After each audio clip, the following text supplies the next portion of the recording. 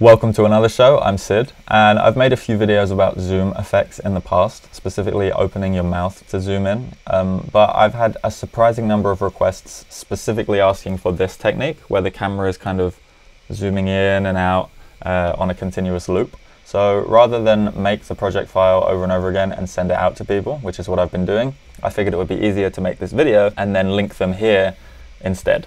So if you've already seen the previous Zoom videos, it's pretty similar to that with just a minor tweak. Um, but hopefully seeing the two separate versions will give you a sense of how you can experiment inside of Spark AR to create different types of effects using the same basic techniques. So let's just jump straight into it. Okay, so we have a new project, switch over to 2D view, open up the patch editor and make a little bit of space for yourself. Now we're going to right click here and add a rectangle. You can also hit add object, fill the width, fill the height and add a material. Now with that material, we're going to create a patch for the diffuse material texture. Then we're going to come up here to our camera, click this plus button for texture extraction and drag the camera texture asset inside of our patch editor. Now we're going to drag out from this RGBA output and add a texture transform patch, which we will connect here to the material diffuse texture.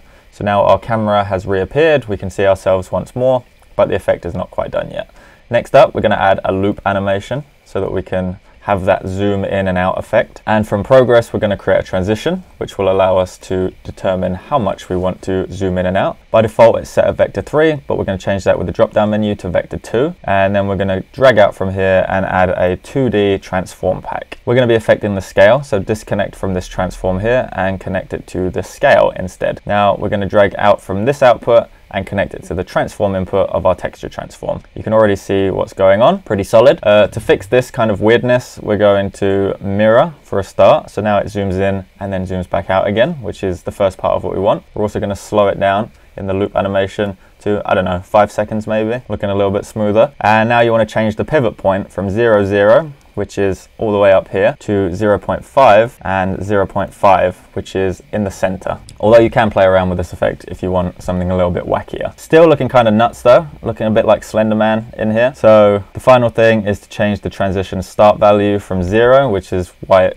goes so small to 1, which will make everything look normal, and then change the end value to something like 1.5, 1.5 maybe, and now you get this interesting zoom effect. You can also adjust the curve here and play around with that. So if, for example, you switch it to bounce in and out, then you'll see it has more of a bouncy effect when it's making that transition, uh, but we'll leave it at linear for now. Again, experimentation is key. The more you play around with it, the more cool stuff you'll figure out. But yeah, that is pretty much the entire effect. There's not much more to it. I will reorganize all this so you can see how everything connects nicely and then I'll switch over to the FaceTime camera so that you can see what it looks like on me. Hey, and here we are. Um, so yeah, if I turn this around, maybe it's a little bit easier. You get a better sense of what's happening. It's kind of zooming in and then pulling back out again. You can adjust the duration, make it a little bit faster, so maybe 2.5 seconds. Or you can go all the way back down to one and it's just boom, boom, boom. You can actually make this so fast it's unreal. So like a spring. Or you can make it so slow that you barely notice it at all. Uh, so it's up to you. Very similar to the open mouth video that I showed you, but with slightly different patches here. So instead of the face tracker and the mouth openness and the add patch, we're just using a loop animation and a transition here that scales in and scales out.